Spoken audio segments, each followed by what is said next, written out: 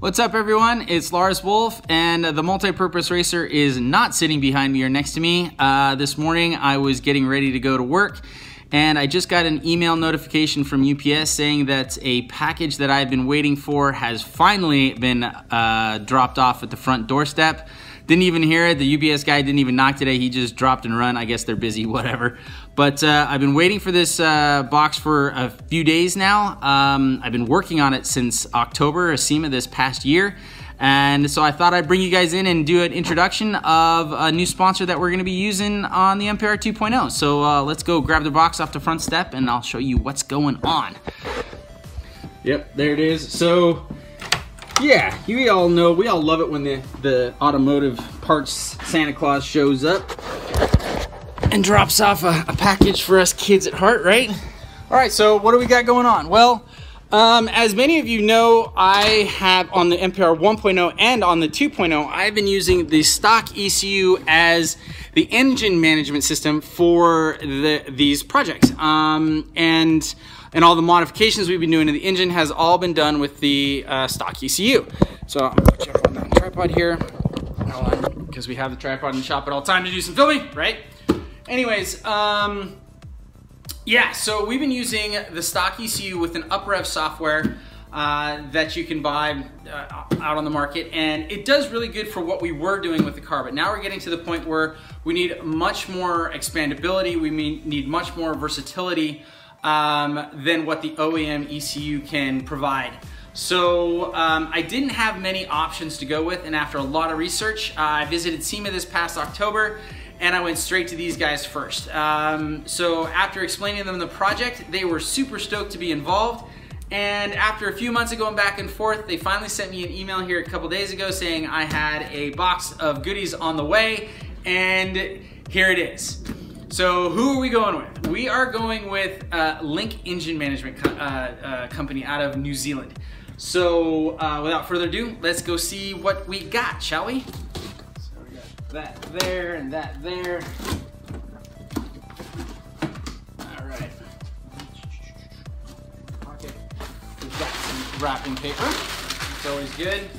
Let's put this down here, shall we? Now, first things first, the ECU bubble wrap for later. Lots of fun in the office, right? And we, what you see, we got the G4 Plus GDI uh, engine management system. This thing is uh, specifically designed for direct injection engines like we have on the MPR 2.0. So that's fortunate, right? So that's been the big deal with this whole project that I wanted to find a uh, standalone engine uh, control module that had the capabilities of tuning direct injection, which can be tricky. Um, but, see, oh wow, yeah, look at that, that's nice. It's heavy, it's a nice quality piece, all made out of metal.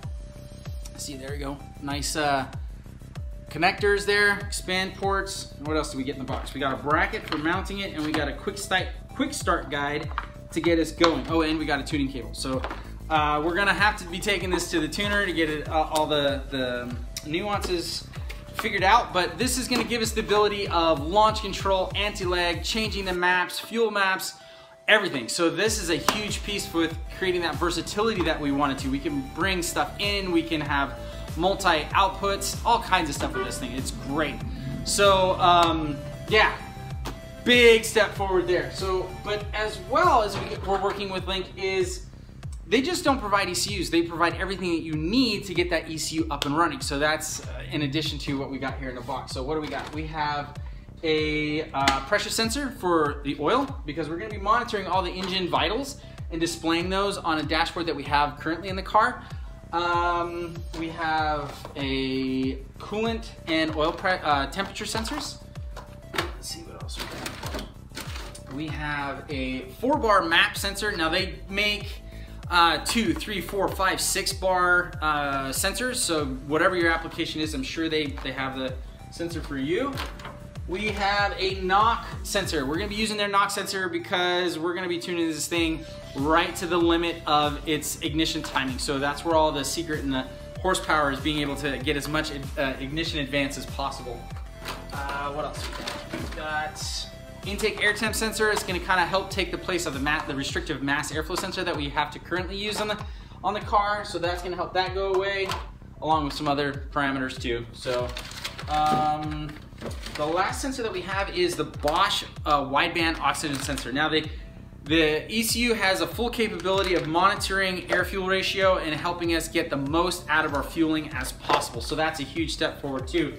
Um, compared to the, the factory ECU. The factory ECU does have a wideband, but mm, anyways. The last thing we have, the last couple things we have, we have here a dash uh, loom. Now what this is gonna be able to give us to do is the expandability later. Uh, East, uh, Link is coming out with a new dash and um, we're gonna hopefully be able to use that at that time when it's released. And this is one cable, plug in the back of the ECU, plug in the dash, and we're done. No crazy looms and harnesses everywhere, so it's gonna be kind of a plug and play thing. So that's gonna be nice. We'll keep on, we'll hold on to that. The last thing are these two harnesses. They call them their A and B harnesses that are required for their ECUs. Um, now they do have all the wire, connectors, terminals, everything for you make your own custom harnesses. But I thought this would help uh, speed the process up a little bit to make sure that this is installed before our first event coming up at the end of March. So yeah, um, there it is. That's everything. That's everything in the box. There we go, everyone. Thanks for joining me today on the announcement between Link ECU and Lars Wolfe Racing and the Multipurpose Racing Project 2.0. You can also check these guys out online at linkecu.com. There you're gonna find a lot of information about what they have to offer. They've got a lot of uh, standalone plug and play ECUs for uh, Subarus, Mitsubishis, Nissans, and a lot of other manufacturers, so check them out. They also got everything that they're gonna, you're gonna need to get one of their standalone ECUs up and running on your project. So yeah, it's worth a look. Um, as well as if you have any other uh, questions or comments about what I've got going on here on any aspect of the car for that matter, leave them in the comments below, direct message me, instant message me, whatever. Uh, get that question to me and I'll get you taken care of as fast as humanly possible. I wanna finish up this video with a huge welcome and thank you to the Link ECU team in New Zealand and here in the United States. Uh, I'm super stoked to be part of your team and we've got a lot of cool stuff coming up and I'm glad to be doing it with you guys. So thanks and welcome. As always, everyone, hit that subscribe button, like, follow, share, give me a thumbs up. Tell me what I'm doing right, tell me what I'm doing wrong. I appreciate the input from you guys. And as always, everyone, thank you for joining me today and we'll see you guys at the racetrack. Take care.